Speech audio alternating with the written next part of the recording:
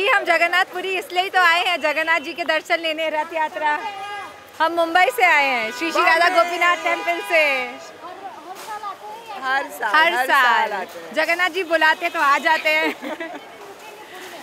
बस वेनसडे को वापस तीन दिन। यात्रा करके कल वापस बॉम्बे। जगन्नाथ जी से लगा हुआ है हाँ जी। लगा हुआ है ये देखिए हर साल हमको कैसे भी करके सेवा में हम आ जाते हैं जगन्नाथ जी के लिए और हमारे होली करते हैं हाँ। और। फिर वेट करते हैं जगन्नाथ जी हमें दर्शन दे और उनका रथ पुल करने की हिम्मत दे तो बस आ जाते हैं thank you thank you Hare Krishna जय जगन्नाथ